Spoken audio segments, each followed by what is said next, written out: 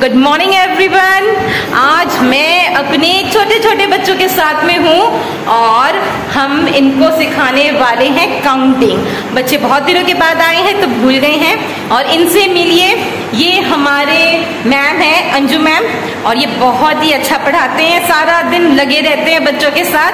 तो ये मैम करवाएँगे बच्चों को काउंटिंग क्योंकि आपको भी पता है कोरोना के कारण बच्चे सब पीछे रह गए तो इनको दोबारा से सारा सिलेबस करवाना पड़ रहा है। तो अभी देखते हैं मैम कैसे करवाते हैं।